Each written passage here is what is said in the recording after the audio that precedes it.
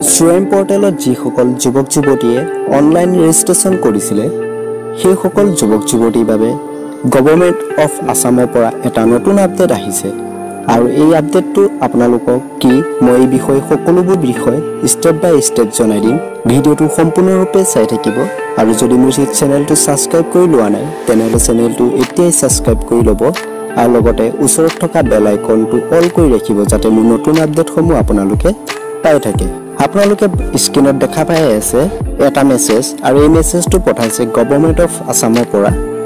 এই মেছেজটোত দিছে dear applicant please log in to ৰি স্ৱেম পৰ্টেল যিটো স্বয়মৰ অফিচিয়েল ৱেবছাইট হয় এই অফিচিয়েল ৱেবছাইটটো দি ৰাখিছে আৰু দিছে on or before twenty five October two thousand twenty to fill in the PAN card details and account details of any loan government of আছামৰ পৰা এই মেছেজটো পঠাইছে আৰু এই মেছেজটোত জনাইছে যে গ্ৰুপৰ যিটো পান কাৰ্ড হয় এই পান কাৰ্ডৰ বিৱৰণসমূহ গ্ৰুপত এণ্টাৰ কৰিব লাগিব। অফিচিয়েল ৱেবছাইটটোত খুলি পেলাই আপোনালোকে লগ ইন কৰি পেলাই আপোনালোকৰ যিটো গ্ৰুপৰ পান কাৰ্ড হয় পান কাৰ্ডৰ ডিটেইলছ দিব লাগিব। আৰু যদি গ্ৰুপৰ কোনো ধৰণৰ বেংকৰ ফালৰ পৰা ঋণ লৈ ৰাখিছিলে তেতিয়াহ'লে ঋণৰ যিটো লোন একাউণ্ট নাম্বাৰ হয় লোনৰ একাউণ্ট নাম্বাৰ আৰু বেংকৰ আই এফ চি ক'ডটো দিব লাগিব। আৰু গ্ৰুপত যিসকল মেম্বাৰ আছে এই সকলো মেম্বাৰে নিজৰ পান কাৰ্ডৰ ডিটেইলছ দিব লাগিব। আৰু তেখেতসকলে যদি লোনৰ কোনো ধৰণৰ এমাউণ্ট লৈ ৰাখিছিলে তেখেতসকলে সেই লোনৰ একাউণ্ট নাম্বাৰটো আৰু বেংকৰ যিটো আই এফ চি ক'ড হয় সেই বেংকৰ আই এফ চি ক'ডটো এণ্টাৰ কৰিব লাগিব। এতিয়া আমি কেনেদৰে এই ডিটেইলছসমূহ ফিল আপ কৰিম?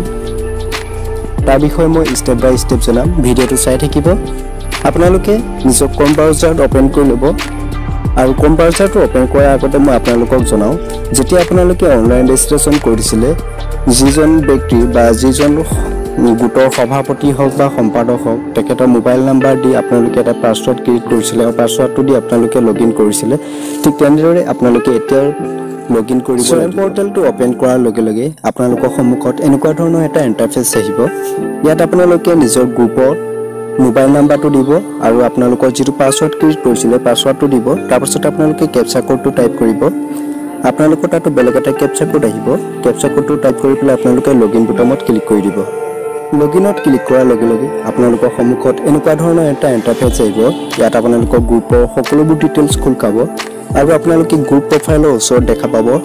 Click here to update fund and loan account details ইয়াত আপোনালোকে ক্লিক কৰি দিব। ইয়াত ক্লিক কৰাৰ লগে লগে আপোনালোকৰ গ্ৰুপৰ ডিটেইলছ আহিব মেম্বাৰসকলৰ ডিটেইলছ শ্ব' কৰিব। ইয়াত আপোনালোকে গ্ৰুপৰ পান নম্বৰটো এণ্টাৰ কৰিব লাগিব। আৰু যিটো গ্ৰুপৰ পান ডকুমেণ্টৰ যিটো আপোনালোকৰ P D F file scanning কৰিব লাগিব স্কেনিং কৰি পেলাই ইয়াত আপোনালোকে পান কাৰ্ডত পান কাৰ্ডখন আপলোড কৰিব লাগিব। আৰু যদি গ্ৰুপে কোনো ধৰণৰ বেংকৰ পৰা লোন লৈ ৰাখিছিলে তেনেহ'লে লোনৰ একাউণ্ট নাম্বাৰটো আৰু বেংকৰ যিটো আই এফ চি ক'ড হয় বেংকৰ আই এফ চি ক'ডটো টাইপ কৰিব লাগিব।